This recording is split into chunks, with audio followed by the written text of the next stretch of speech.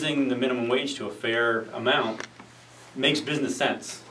Um, We actually, uh, our, our, um, our entry level wage is fifteen dollars an hour, uh, because we think that's a, a fair amount.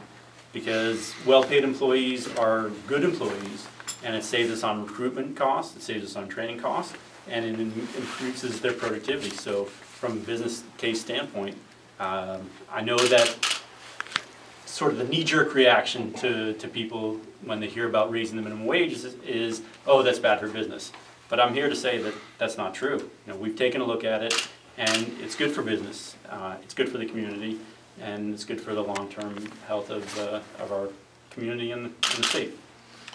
I couldn't agree more.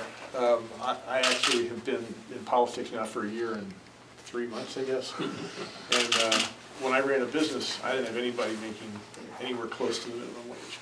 Uh, it made for much more motivated employees, you had lower turnover, you had fewer training costs, morale was better.